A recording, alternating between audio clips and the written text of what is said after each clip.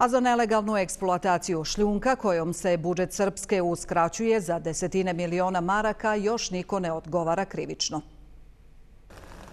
Rijeka Drina, prirodna granica između Bosne i Hercegovine i Srbije, idealno mjesto za lovu mutnom, odnosno ilegalno iskopavanje šljunka. Obala ispod Pavlovića mosta katastarski pripada opštini Bogatić u Srbiji, a unosan posao od koga samo pojedinci imaju korist, nanosi nesagledivu štetu.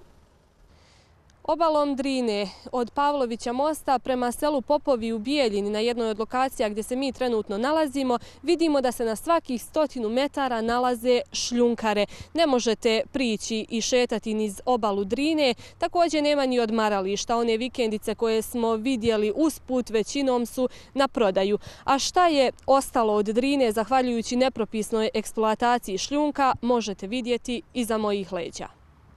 Niko nema koristi od te ilegalne eksploatacije, osim samo tih nekoliko pojedinaca koji vade nelegalno taj šljunak i prodaju ga nelegalno.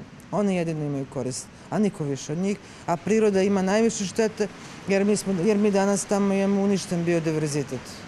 Iz inspektorata Srpske su nam potvrdili da su u julu 2022. godine sproveli akciju kontrole nepropisne eksploatacije šljunka na lijevoj obali Drine nizvodno od Pavlovića mosta, dok su nas iz okružnog javnog tužilaštva iz Bijeljine informisali da su postupili po jednoj prijavi protiv lica VM zbog postojanja osnova sumnje da je izvršio krivično dijelo u vezi sa nepropisnom eksploatacijom šljunka.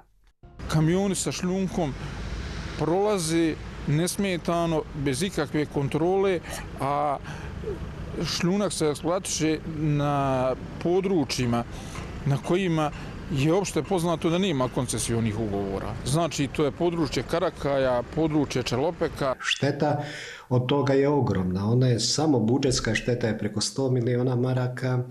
Dalje, šteta po osnovu ugroženosti naselja od poplava zbog ove eksploatacije šljunka je isto ogromna ili je ta ugroženost ovakvom eksploatacijom znatno povećena nego što je bila ranije. I treća šteta je devastacija korita i poljoprivrednog zemljišta i tu je šteta ogromna. Šljunkarenje je aktivno i na području grada Doboja. Rijeka Bosna je na nekim dijelovima neprepoznatljiva. Za ekološku katastrofu u osjećanjima podignute su i krivične prijave. Vode Srpske od februara prošle godine mogu bez javnih poziva da daju lokacije za vađenje materijala. Rezultat toga je da je jedno preduzeće iz Modriće dobilo na čak sedam lokaliteta dobilo da vadim do 2025. godine i ono će izvaditi ukupno 1,7 milijuna kubnih metara e, materijala po cijeni 1,55 što je zaista minimalno. Razlog svakog kršenja zakona je uvjerenje da nećete biti adekvatno kažnjeni. Tako je i u slučaju ilegalne eksploatacije šljunka.